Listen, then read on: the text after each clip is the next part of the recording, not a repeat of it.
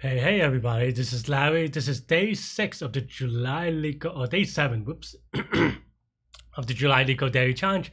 Hit the like button, hit the subscribe button, join me Discord. Let me know what you think about today's problem. Interleaving string, medium. Okay, let's go. So given S1, S2, and S3, S3 can be formed by interleaving S1 and S2. Okay, so I mean, given, um, yeah, I mean, I think this is a very standard problem. Maybe this week's theme is just standard problem. It's a dynamic programming, and of course, yes, you can do space optimization. I think I even have a video video up on a very similar problem for space optimization. So check that out on my profile or, or you know, look up um, uh, dynamic programming progression or something like that, right?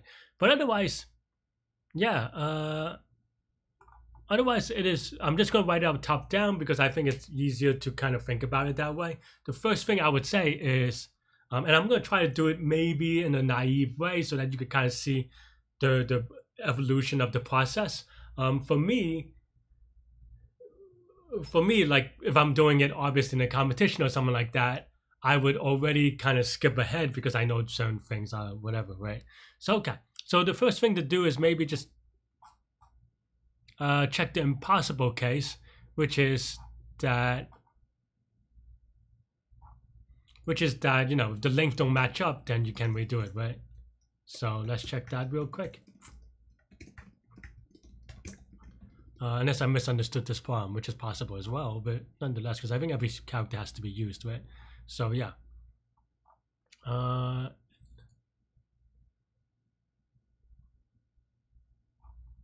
yeah. I'm also just trying to yeah, I'm just trying to see if I misread any edge case because there's some stuff where sometimes you just have I don't know weird things. But in any case, yeah. So the function that I can have is maybe some interleave thing, and then oops, not interval, interleave, uh, eh, whatever, inter. Um, so then now you have S1, S2, S3, and then the idea here is, okay, if S3 is equal to empty, then we return true, because also in this case, that means that these two are whatever.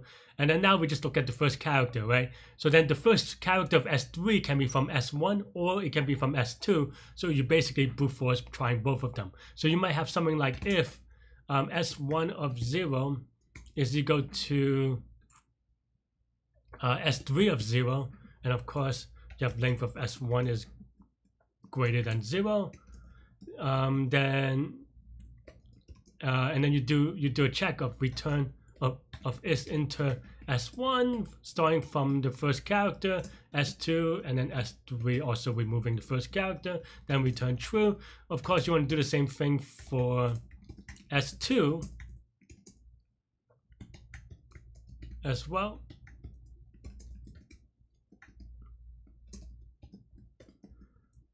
Uh, yeah, and this is pretty much basically what I said in the sense that, um, in the sense that is the first character of S3, the combined string, can either, you know, you take the first character from the S1 or S2. And that's basically the really brute force recursive way of doing it.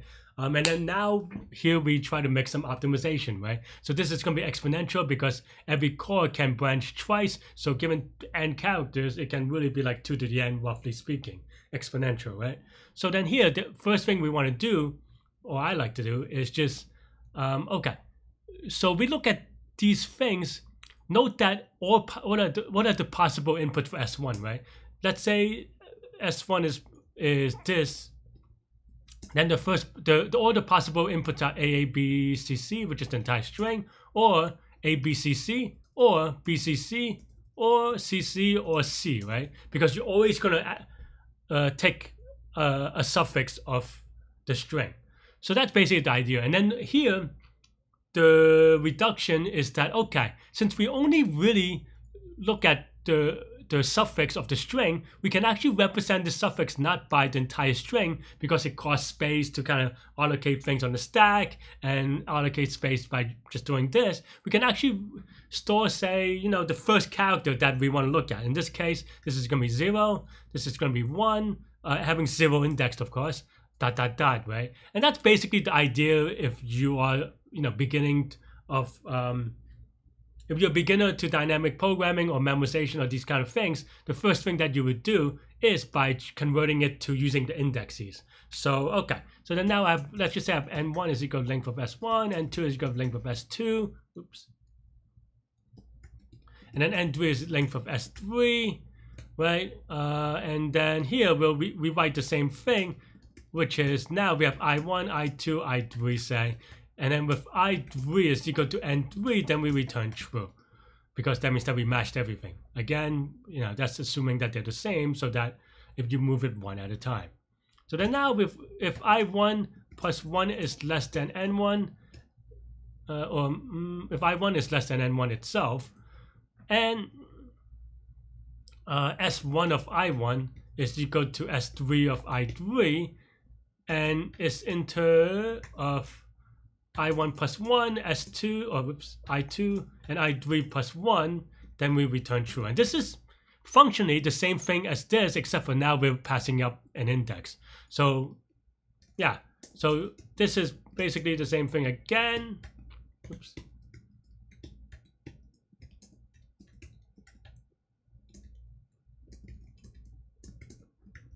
Right, and then we do it. And then we kick it off by saying return is inter from the first index of everything. Um, and of course, this will time out, but I just want to you know run it out real quickly. It may not time out on the input, uh, but yeah, it looks good. The one thing that I would also say that is for for binary results, you have to be careful because the, the the input cases may be weak. So it gives me confidence for sure, but not as confident in general, like or not 100% confidence, right? Just because there are a lot of things that can go wrong. Okay, so then now we say uh, yeah. So then now the thing is, like I said, we now look at I1 or all the possible inputs, right? Well, I1 can, oh, the two things. Well, okay, we'll go over, uh, um, we'll go over, this is actually a good problem for me to demonstrate this, but we'll go over the analysis, right? So as, the analysis that I always start off, or I've been doing lately, is kind of time complexity or total time maybe, is a better way of doing saying it, is equal to time per input times number of input, right? Maybe we could do it the other way around. Um, and of course, this is a trivially true way if you do like um, unit analysis, or even just considering that time per input is just really time over input over one input. So you have the number of input over time, then the the the, inputs cancel out uh, or something like that, right? I mean, I guess they don't really cancel out, but the unit cancels out is what I mean. So yeah, and of course, how many number of inputs do we have? Well, the number of inputs we have is equal to. Let's do this the naive way first, which is that I1 can be from 0 to N1, I2 can be from 0 to N2, oops, and I3 can be from 0 to N3, right? So that means that, and here we look at the constraints, you 100, 100, 200, um, and then each input takes all of one time. Exact. In fact, it makes two calls, right? So it always makes two calls. So this is one bit of one time. They're technically all of n1 times n2 times n3 inputs. So total time is O of n1 times n2 times n3. We didn't, I, I messed up here in that we didn't do the memorization yet. So, um, but I wanted to say, eh, I did a little bit out of order, but, but yeah, so that's the total time if we do the memorization. And what is memorization, right? Memorization, basically, you, uh, you can think about memorization as every time we get the same input, we give the same output.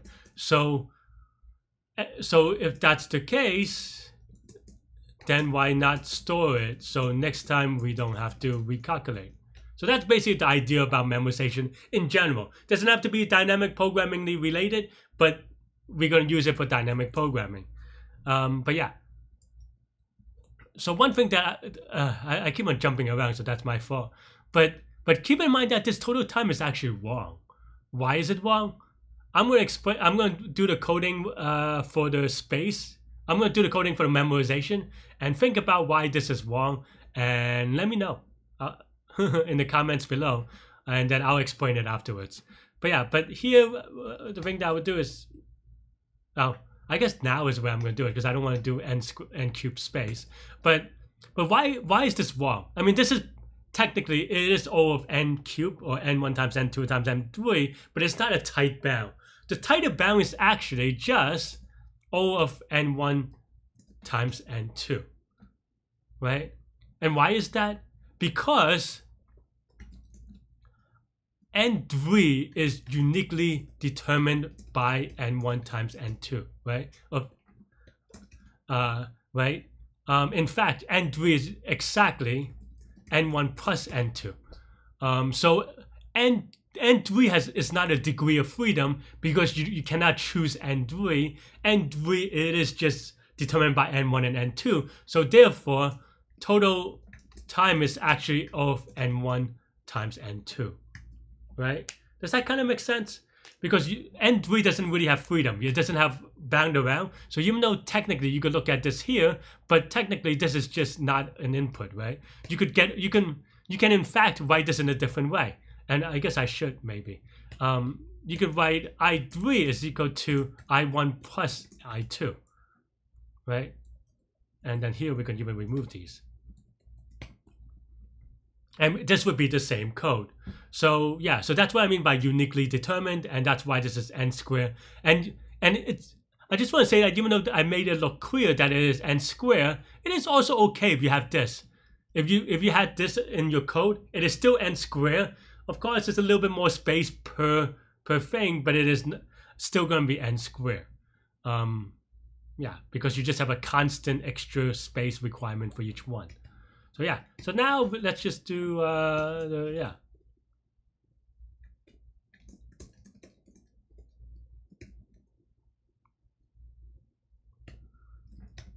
And now this is standard caching stuff that uh, hopefully you would already be familiar with. But, but yeah, this is the way that I like to cache it. I like to cache it, cache it. I, um, and technically, actually, I messed this up. I think I want this to be plus one.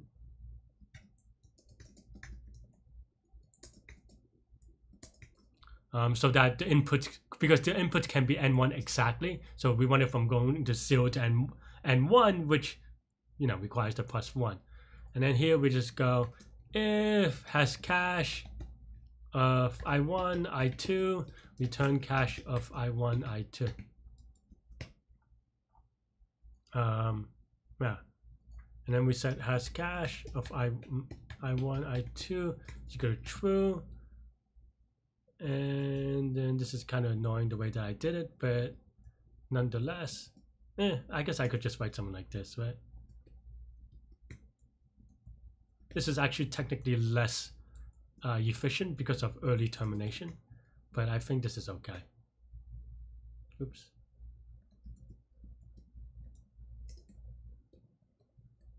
Why is this shorter? Oh, I have an if statement, that's why.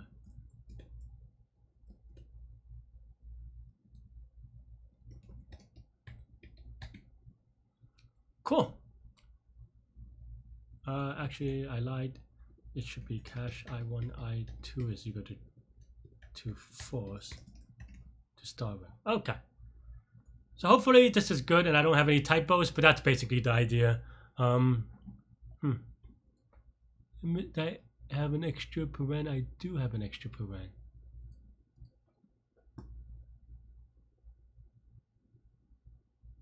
Hmm?